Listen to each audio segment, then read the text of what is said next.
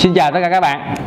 Hôm nay chúng ta đến với tư vấn kỳ 3 Tại Bệnh viện Thẩm mỹ MCAS Kỳ 3 này Chúng tôi muốn tập trung về à, những cái nét chấm phá trên khuôn mặt Và làm sao cho các bạn có cái khuôn mặt hấp dẫn hơn, dễ nhìn hơn.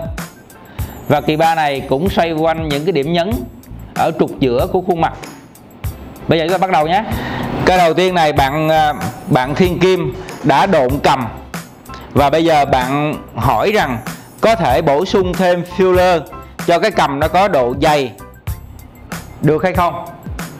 Câu trả lời là như thế này. Về mặt tổng thể, chiếc cầm nằm trên trục tương tác của khuôn mặt. Trục tương tác có nghĩa là cái trục từ trán xuống tới cầm. Trục này của bạn thiên kim đang bị trũng vào sâu có nghĩa, hai cái vùng phần mềm của gò má đang rất là lớn. Và vì cái trục này nó bị trũng lại, cho nên chiếc cầm này trước khi làm, tôi đoán là nó bị hững ra phía sau. Do vậy, chúng ta phải xét đến tiêu chuẩn của một chiếc cầm đẹp là khi bạn nhìn ngang.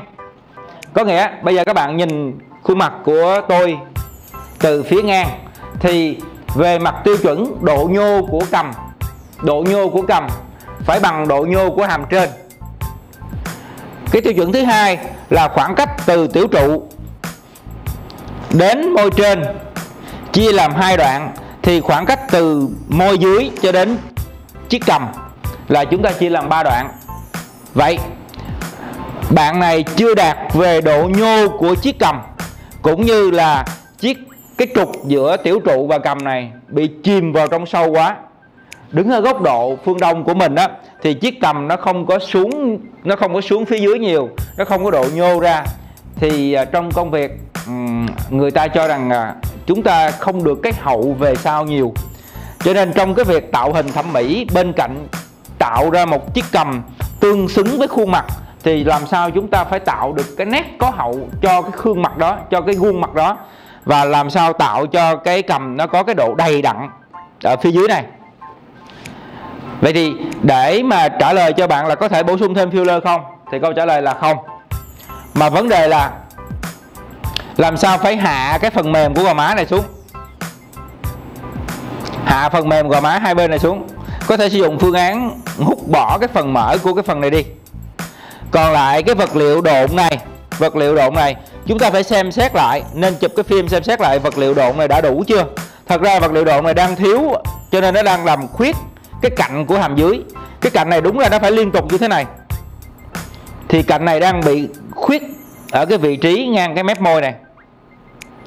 Thế thì chúng ta cần phải dùng vật liệu đệm làm sao cho nó tạo cái độ liên tục từ cạnh hàm dưới xuống với cái cầm. Và cái cầm này nó phải có độ nhô ra trước. Trong một vài trường hợp thì tôi có dùng hai miếng hai miếng độn cầm cho cái xử lý những cái cầm lẹm như thế này thì trong trường hợp này, đây là một cái trường hợp mà có thể xem xét là chúng ta sử dụng hai miếng độn cầm. Và bên cạnh đó để làm khuôn mặt này bắt mắt hơn, hấp dẫn hơn, thì chúng ta phải xử lý cho cái phần mềm gò má này giảm đi. Và cái trục này làm sao chúng ta nâng bật cái lên. Có nghĩa là cái khóe, cái rãnh mũi má này phải được tôn lên. Thì lúc đó mới làm cái trục giữa nổi bật lên trên khuôn mặt để cho cái trục này nó tương tác với mọi người, nhìn nó đẹp hơn rồi, tóm lại, với bạn thiên kim thì nếu điều chỉnh cái cầm không, khuôn mặt bạn cũng chưa cải thiện được. Mà chúng ta làm sao phải cho trục giữa nâng lên? Như vậy, để cho trục giữa nâng lên thì với rãnh mũi má chúng ta phải đệm cho có cái độ, cho cho nó có cái độ nâng lên cao, xóa cái rãnh mũi má này đi. Với chiếc cầm thì chúng ta có thể dùng hai hai miếng đệm để làm sao cái sự liên tục, có cái sự liên tục từ cạnh hàm dưới xuống dưới cầm. Và cái thứ ba là xử lý hai cái phần mềm của gò má này cho nó gọn trở lại. Xin chào bạn.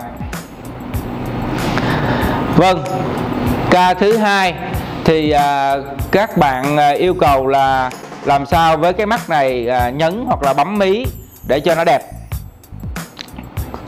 Thì với cái mắt này là một cái mắt à, tương đối nhỏ các bạn. Vậy thì cái phương án là chúng ta có thể dùng phương án nhấn mí là đủ. Nhấn mí thì chúng ta tạo cái nếp nhấn mí ở phía trên à, cái nhấn đang có ở đây và với phương án này chúng ta làm trong khoảng tầm à, 20 phút thì chúng ta được cái nếp mí tương đối là tự nhiên.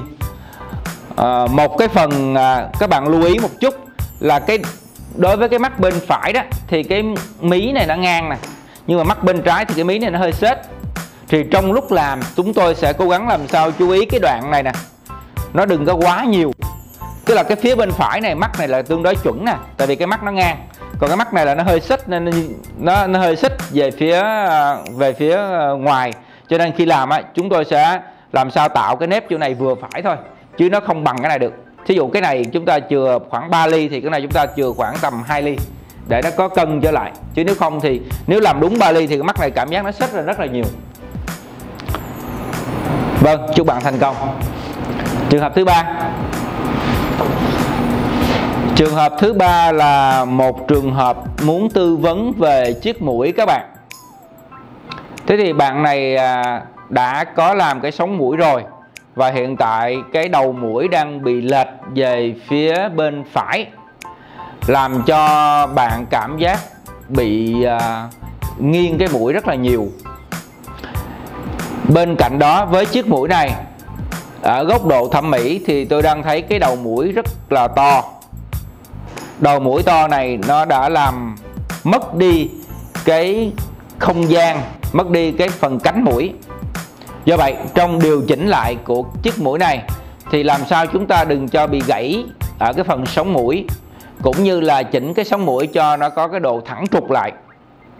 Về đầu mũi thì chúng tôi sẽ tạo một cái điểm nhấn ở hai bên đây, để phân biệt rõ giữa cánh mũi, giới hạn rõ giữa giữa cánh mũi và đầu mũi có nghĩa, từ chân cánh mũi bên phải lên cái giới hạn này là 1 phần 3 từ giới hạn đầu mũi bên phải đến giới hạn đầu mũi bên trái là 1 phần 3 và từ giới hạn đầu mũi bên trái đến chân cánh mũi bên trái là 1 phần 3 tức là chúng ta chia theo tỷ lệ đúng như vậy.